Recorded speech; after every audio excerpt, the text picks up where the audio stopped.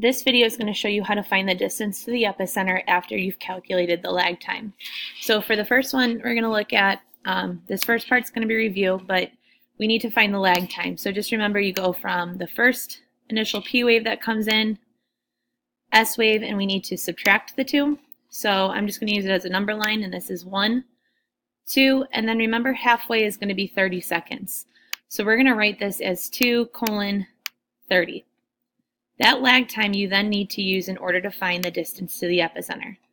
So how we're going to do this is you're going to take your graph and you are going to place your note card in the corner of the graph. And we have to remember that our lag time that we just calculated was 230.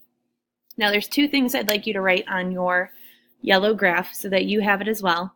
And that's going to be, we need to know what each of these lines is increasing by. Remember that the side here is representing time. Each of these little lines is actually going to go up by 20 seconds. So you can write that somewhere on the side so that you remember it, that each line is increasing by 20 seconds. Down here on the bottom, each of these lines is increasing by 200.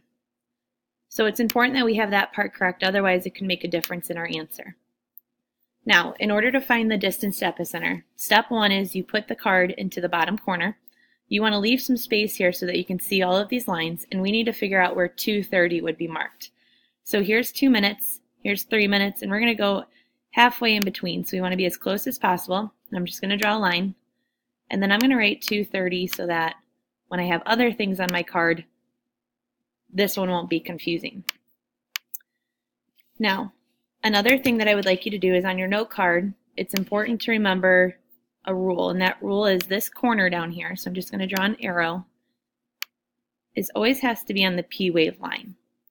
So I'm going to put that there to kind of help remember.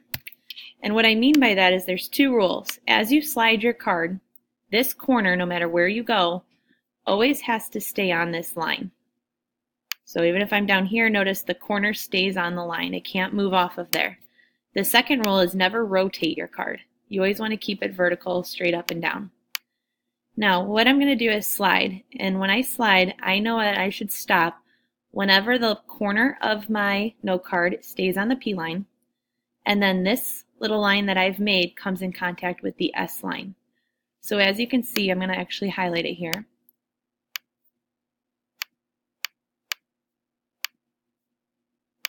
If you look here, this line comes in contact.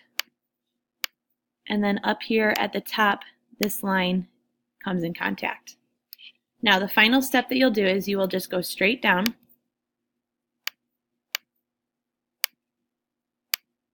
from the side of your note card all the way down to the bottom. From there, you're just simply going to calculate or count how much that distance would be. So if I look at mine, this is 1,200, 1,400. So it'd be 1,000.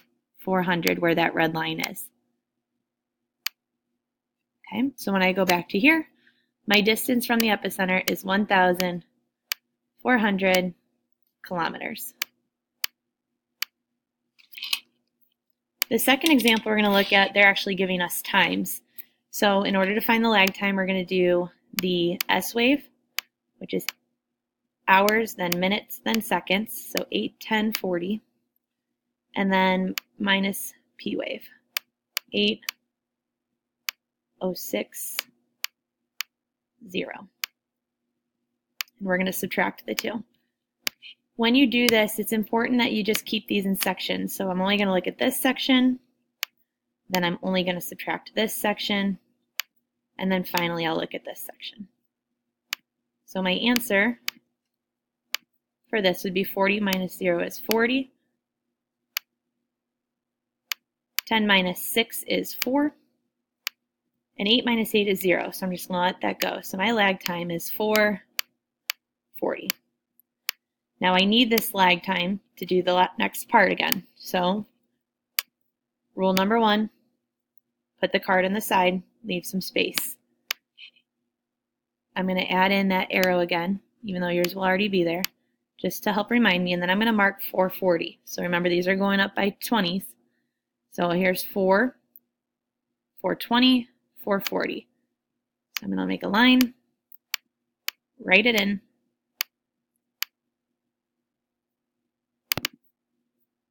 And then we're going to slide.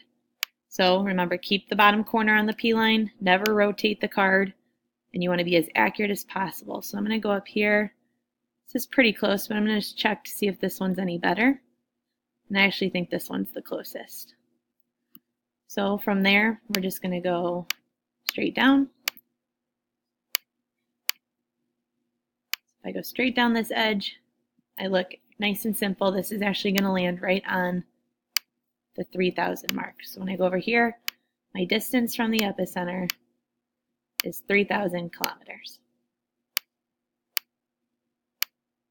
One thing that I always suggest, and you saw it on this one, is whenever you think you've got it, just go one more either way to see if there's a better one.